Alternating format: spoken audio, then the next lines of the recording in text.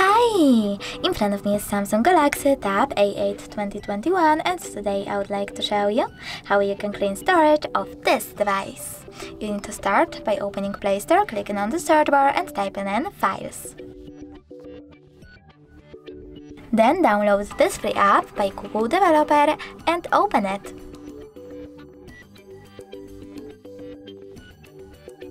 Over here, choose Continue, tap on Allow, and click on the switcher next to Allow access to all files. Then click on the back button and choose Clean over here.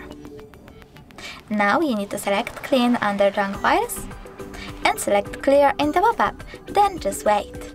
As you can see, I didn't have any junk files, but storage of your device was successfully cleaned. Thanks so much for watching. If you enjoyed this video, leave a like, comment and subscribe. Bye!